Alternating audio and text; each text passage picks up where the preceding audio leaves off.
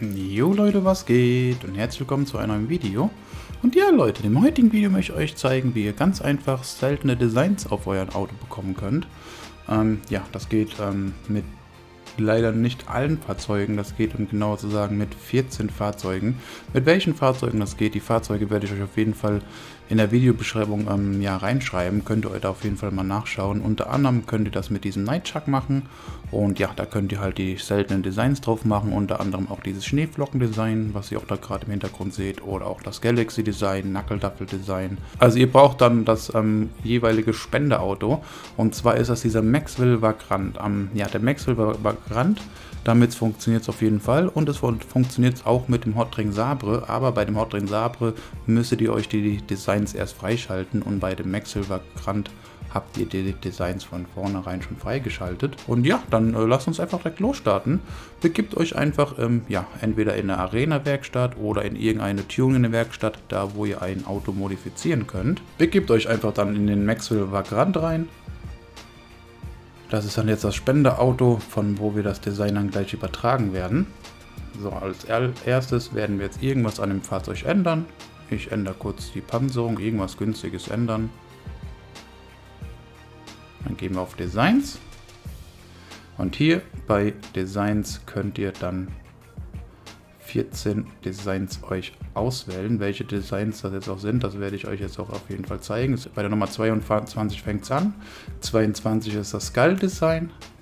Die Nummer 23 ist das Knuckle Duster Design. Die Nummer 24 ist das Bully Design. Die Nummer 25 ist das Rockstar Design. Nummer 26 ist das Red Tartan Design. Die Nummer 27 ist das Galaxy Design. Die Nummer 28 ist das Christmas Camo Design. Die Nummer 29 ist das äh, Zuckerstangendesign. Die Nummer 30 ist das Schneeflockendesign. Und die Nummer 31 ist das Nistelzweigdesign. Die Designs die werde ich euch auf jeden Fall auch nochmal in der Videobeschreibung reinschreiben. Könnt ihr dann auf jeden Fall nochmal nachschauen. Wenn ihr dann das jeweilige Design euch dann jetzt ausgewählt habt. Ja, in diesem Fall möchte ich mir das Galaxy Design online holen. Das heißt, ja, in diesem Fall möchte ich das Galaxy Design haben. Das heißt, ich gehe auf Nummer 27 blaues Tartanmuster. Da bekomme ich dann gleich das Galaxy Design.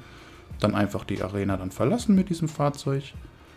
Ähm, ja, wenn ihr jetzt irgendwie noch F1-Reifen oder Bennys oder sowas auf dem Fahrzeug haben wollt, dann müsst ihr euch diesen Maxwell Vagrant dann vorher noch merchen. Ich habe es jetzt nicht gemacht, weil ich habe eh alle Garagen voll und ähm, ja, ich möchte mir das Fahrzeug eh nicht merchen. Ich möchte euch das nur einmal ganz kurz demonstrieren, wie das funktioniert. Ähm, ja, dann begebt euch dann auf jeden Fall mit einem Freund. Ihr braucht auf jeden Fall die Hilfe von einem Freund, wie es bei den anderen K2K Merch Glitz natürlich auch ist. Begebt euch dann einfach mit eurem Freund zum LSK Meet. Seid ihr im LSK Meet angekommen, steigt in den Maxwell-Vagrant ein, steuert kurz nach rechts, um das Fahrzeug zu modifizieren. Jetzt ändern wir irgendwas wieder an dem, an dem Fahrzeug. Ich ändere jetzt gerade einfach die Panzerung. Irgendwas günstiges ändern. So sind wir jetzt wieder angekommen, sagen wir unserem Freund Bescheid, dass unser Freund jetzt in sein Auto einsteigen kann. Unser Freund ist auch im LSK mit drin, er steigt jetzt in sein Auto ein und geht dann einmal ins Interaktionsmenü, geht dann auf LSK Meet und startet dann einmal das Sprintrennen. Dann müssten wir eine Einladung bekommen.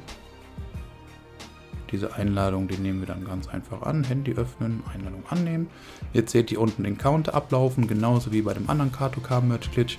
Wenn der Timer bei 2 Sekunden ist, muss unser Freund einmal X durchspammen. Ist nur ein kleiner Timing-Part, aber nichts Schweres. So, er spammt jetzt X durch. Dann werden wir jetzt gleich einen schwarzen Ladebildschirm bekommen, einen unendlichen Blackscreen. Das ist auf jeden Fall perfekt. Jetzt kommt der Freund ins Spiel, der sich in einem anderen Zielmodus befindet. Ihr könnt auch gerne den Bot benutzen. Werde ich euch auch dann in der Videobeschreibung auch dann verlinken, das ist gar kein Problem. Alle Meldungen, die jetzt kommen, die können wir ganz einfach mit X alle bestätigen.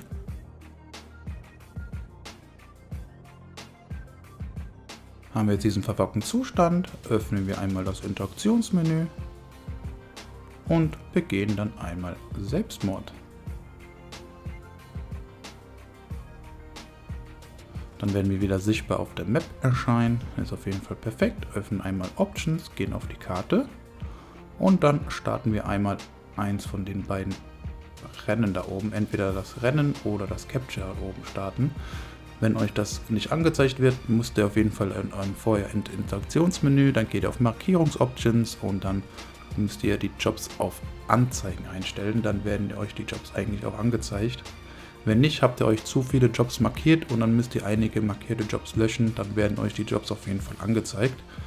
So, den Job hier können wir dann ganz einfach verlassen, brauchen nichts zu ändern dran. Und wenn wir jetzt spawnen, sind wir verglitscht und können uns jetzt das Auto merchen. Ja, wir begeben uns in die Garage, wo das Auto drin steht. Und zwar, es funktioniert nicht mit allen Garagen. Und zwar, es funktioniert mit allen Firmengaragen, mit allen Apartment-Garagen funktioniert es. Ja, so, ich fahre jetzt einfach meinen Nightshark, den habe ich jetzt im Casino drin. Ähm, ja, im Casino wenn ich das Fahrzeug dann gleich wieder ins Casino reinfahre, dann ist es halt dann wieder ungemercht. Aber ich werde es euch jetzt nur zeigen, wie man das jetzt merchen kann.